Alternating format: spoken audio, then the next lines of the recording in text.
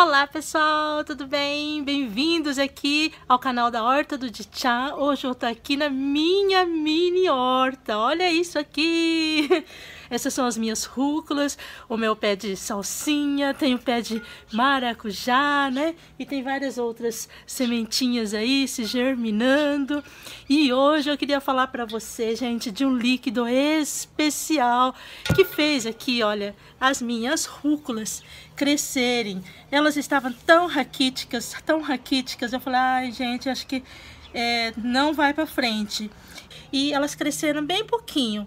Mas, gente, com esse líquido aqui, olha como ficou as minhas rúculas. Cresceram demais, demais, demais. Em dois dias ele teve um crescimento assim exuberante. Eu queria mostrar para vocês aqui o que que eu utilizei. Olha isso aqui, o adubo especial. olha que bacana.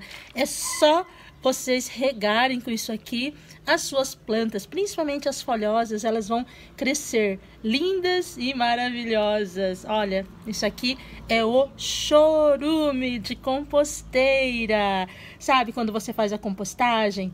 Né, no minhocário, aí lá embaixo eles solta esse chorume aqui, né? Aí você vai diluir, ele vem bem, ele vem bem concentrado, certo? Aí você vai diluir, você vai colocar, é, se você tem uma parte desse, você vai diluir até cinco partes, tá?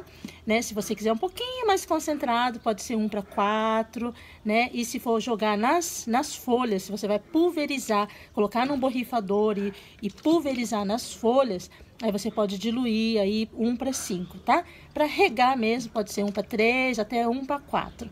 Aqui eu tenho é, já diluído 1 para 4, né? Então, uma parte mais até 4 de água, tá? Né? E você vai regar aqui, ó, nas suas plantinhas. E elas vão ficar assim, lindas, lindas, lindas.